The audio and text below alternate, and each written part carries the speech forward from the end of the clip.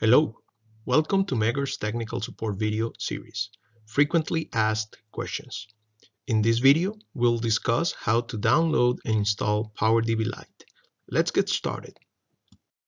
PowerDB installer is available at powerdb.com. Once on this website, go to the download section where several installer options are presented. The option at the top of the list is the latest release. The installer file contains the three types of PowerDB, Pro, Advanced, and Lite. If you are a Pro user, check with your PowerDB system administrator before updating the software. The date next to the file name indicates the last time the drivers were updated. There could be several driver updates within the same release, meaning that the release number can remain the same but the date can change. Below the first option, there are available versions for the STVIs and older releases. Click on the download button at, next to the version you are interested. In this case, we are downloading the latest release available. Follow the prompts to save the file to your computer.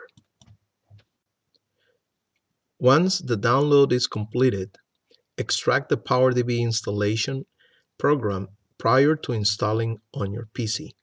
Do not install from the zip file.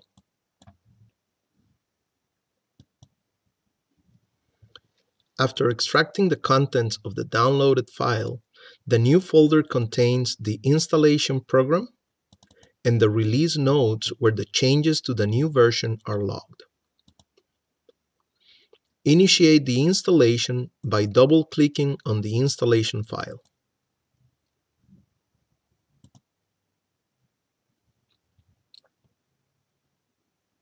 From this point, follow the prompts to complete the installation. Among the prompts, there's the license agreement, the selection of the destination folder for the software, the selection of the default settings to use, which can be changed later via the Tools option in the menu. What you can select here is the language, the units, the frequency, the way to display the power factor results, which can be power factor or dissipation factor, and the standard to use, ANSI IEC Australian. Next is the setup type. The options are Lite, Advanced, and Pro. If no license is available for Advanced or Pro, they will be installed in the reader mode.